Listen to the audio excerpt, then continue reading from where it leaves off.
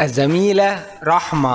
خالد أول مذيعة من أصحاب متلازمة آه، داوني داون سندروم أنا واحدة من الناس أنا نعم أنا عندي آه أنا من الأعاقة الذهنية بس أنا برضو بقول آه دي مش أعاقة ولا مرض دي حاجة محطوطة فيا دي حاجة بتميز مش حاجة بتخلي الواحد يكون معاق.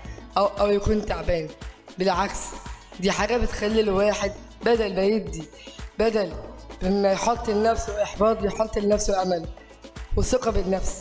الإعاقة طاقة مش آه، مش حاجة تخليني أو أو حاجة تمنعني إن أنا آخد حقي في في في الحياة الطبيعية. بالعكس دي بتخليني آخد حقي في الحياة كاملة حي- حياة طبيعية. اللي وقفت جنبي واللي ساندتني واللي فعلا قدرت تقف وتاخد لي حقي في الحياة هي أمي من صغري.